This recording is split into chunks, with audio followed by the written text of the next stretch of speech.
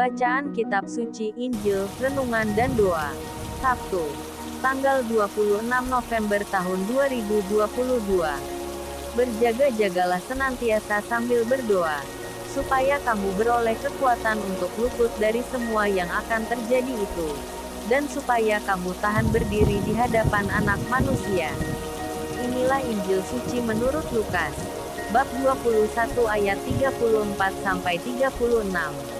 Pada waktu itu, Yesus berkata kepada murid-muridnya, "Jagalah dirimu, supaya hatimu jangan syarat oleh pesta pora dan kemabukan serta kepentingan-kepentingan duniawi, dan supaya hari Tuhan jangan dengan tiba-tiba jatuh ke atas dirimu seperti suatu jerat. Sebab ia akan menimpa semua penduduk bumi ini. Berjaga-jagalah senantiasa sambil berdoa, supaya kamu beroleh kekuatan untuk luput dari semua yang akan terjadi itu, dan supaya kamu tahan berdiri di hadapan Anak Manusia. Demikianlah sabda Tuhan. Shalom. Berjaga-jagalah senantiasa sambil berdoa, supaya kamu beroleh kekuatan untuk luput dari semua yang akan terjadi itu, dan supaya kamu tahan berdiri di hadapan anak manusia. Injil Lukas yang kita baca hari ini, Lukas bab 21 ayat 34 sampai 36, berbicara tentang berjaga-jaga menghadapi berakhirnya sejarah manusia dengan kedatangan Kristus Sang Hakim.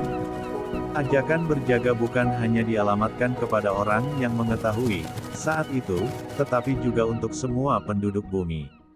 Injil Lukas mengajak kita untuk berjaga-jaga dan berdoa selagi dunia tertidur. Maksud berjaga-jaga bukan hanya supaya kita sanggup bertahan untuk menghindari dosa, kesalahan atau penipuan. Kita berjaga agar rencana Allah berkembang dan kedatangan Tuhan menjadi semakin nyata. Hari ini kita diingatkan akan perlunya berjaga dalam kehidupan. Kedatangan Tuhan secara dalam bentuk akhir kehidupan kita, datang secara tiba-tiba. Tuhan ingin agar kita siap menyambutnya. Ketika berjaga, kita yang lemah dan rapuh ini, akan dikuatkan. Kita akan diteguhkan untuk tetap kuat menghadapi cobaan, godaan, dan kejatuhan.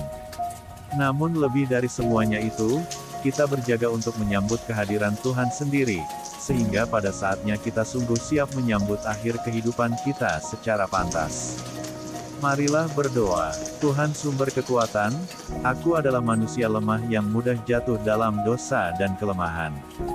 Biarkanlah roh kudusmu membimbing aku untuk setia berjaga menantikan kedatanganmu. Amin.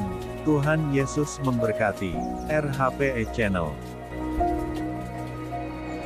Música